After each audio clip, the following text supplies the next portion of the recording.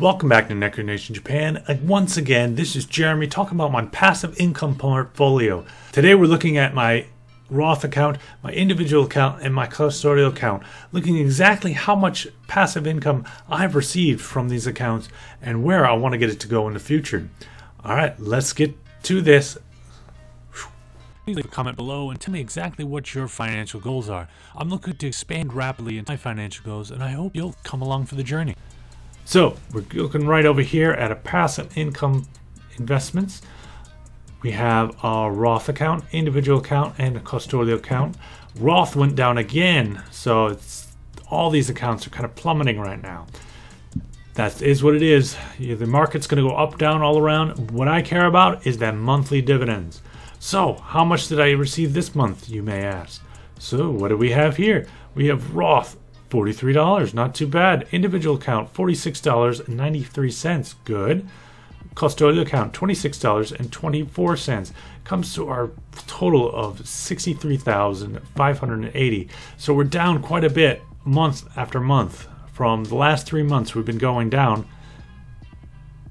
As you can see here. As you can see here, we've had the downtrend since the pandemic uh, 35,000, 32, 29, then up as I put more money in, and with the Fed backing everything, it just skyrocketed from there. We got 55,000. Then we hit 57,000, 58,000, 61,000, 66,000, and then it started to go down a little bit. Not too bad. 65,000, 63,000. Okay, just some of the individual stocks dipped a little bit. That's fine. Not too bad. But what I really like to see is right here. So, January, zero dividends. Kind of a shame, but that's what is what it is. February, $55. Not too bad. March, 133. April, $47. May, 57. June, nice month. $254.93. Good. July, 116 August 58 then best month ever $284.17 September 2020 and then this month drops down quite a bit 117 so if you compare it here it's still going up. We have large months going up quite a bit very nice. I want to see this grow and grow and grow and get more dividends every month. I want to get this average right now $112.54 average. Not too bad. Going up. That's what I want to see. I want to see that number at 1000 per month so I can cover my entire mortgage payment and a little more every month just in passive dividends income. So I want to see that passive income. If I have any kind of emergency, boom, flip that switch. It goes right over and I can pay it monthly mortgage, no problem. Then if I have any issues, if I get that sorted, I can turn it back on, dividends go back in, I get payments every month. Then let's look at our totals. This thing is getting ridiculous. 2017, $319, not bad. 2018, $407. Good. 2019, $652. Okay, respectable. So far, 2020, $1,125.41. And that's a pretty good chunk of change. I obviously have all of these reinvested in the particular dividend stocks they paid out then. And then so it's going to grow every quarter. It's going to be nice. We will see. Just looking through the stocks we own, nothing particularly gains. All some going up, some going down. This particular month, it hit down. It went down a little bit, but nothing to worry about. As we see here, more just companies, great companies paying my dividend. That's pretty much all my Roth individual account.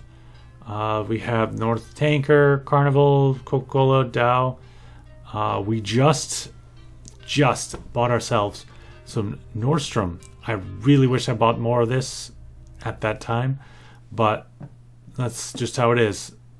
Then Tapestry, waiting to go up. I want to, as I said, these three companies now, I want to see if in about a year, if they pay a dividend, I'm going to hold on to them. And if they don't, I'm going to reassess to see exactly where their price is, and it may force me to sell it.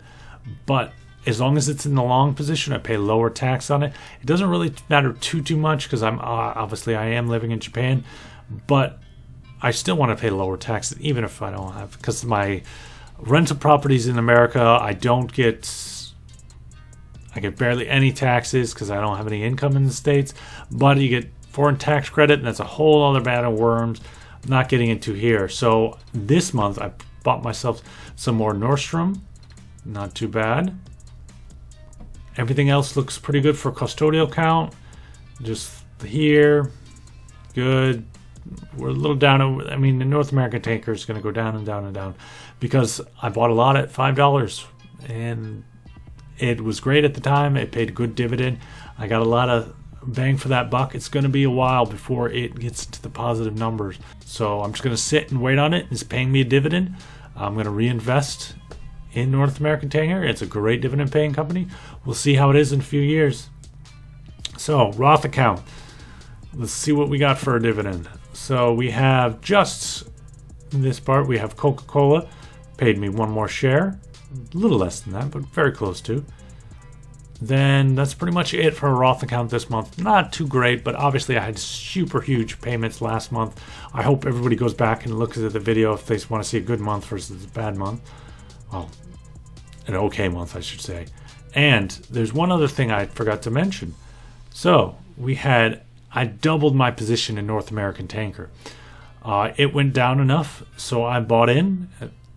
I believe it was $3 a share. We're going to say that. And doubled my position. So I now went from 216, almost doubled, 416 shares. Then Coca Cola paid me a dividend, so I got almost one share there. And Nordstrom. It was just a really good price on Nordstrom. I've never seen that low. Put a small stake down, so I got 50 shares of Nordstrom, and Toll Brother paid dividends 0.1. Nothing really. Nothing really to cry home about, but it's a little money coming in. Look at our custodial. I also doubled up on our North American tanker. So from 54 shares to 104 shares.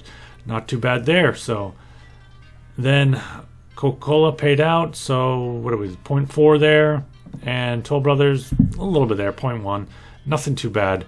Ending this particular month out, we have 63,580 overall total value for all of the accounts. Uh, paying pretty good dividends. We got Roth 44, individual 46, and custodial 26. It's, I think that's probably my highest from the custodial account so far. With that, not too bad. So where did I start this whole journey, right? With our Roth account, it went down quite a bit, but still, I put in $28,542.17. Right now, the worth of it, $39,777. That's up quite a bit. I want to see that grow, obviously. And Obviously, if I put this in like Tesla or something, I would have probably seen this growth, but that's not my play. What my play is is great dividend paying companies, owning more and more shares of those companies, averaging out, almost guaranteeing, unless that company goes insolvent, I'm guaranteeing myself great passive income every month throughout the rest of my life, which is awesome. All right, individual count went from 15 to 17. That was up a little bit custodial $5,007 to 6,300. Not too bad, right? With that, I want to invite you to challenge me and look at particular companies that you would think would make great dividend payers. I want to look at each individual company and go through and say, okay, exactly why this would be a good dividend payer or why it would not. And what do you think about it? With that, Thank you very much. This has been Jeremy from Neko Nation Japan. I really hope you enjoy these videos and get this passive income portfolios out there to show exactly how I do it and how it should be done. And everybody can do it along with me. Thank you very much. This has been Jeremy signing off. Sayonara.